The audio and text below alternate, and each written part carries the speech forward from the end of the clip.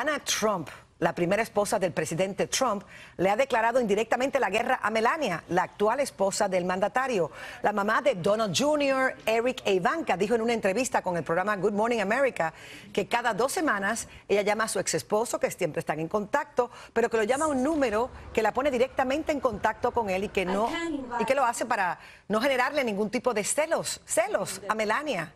Iván aseguró que como ella fue la primera esposa de Trump, ella es la verdadera primera dama de la nación. Dice además que sería capaz de organizar la Casa Blanca en 14 días y que puede dar un discurso por 45 minutos sin utilizar el teleprompter. ¿A quién se habrá estado haciendo referencia? No sabemos, pero yo creo que esto es un conflicto más grande que el de, el de que están teniendo con Corea del Norte. Alex, Alexis, soy Leo y Alexis y pues los apoyaron, les brindaron este por una manguerita, les estaban mandando oxígeno y por otra les mandaban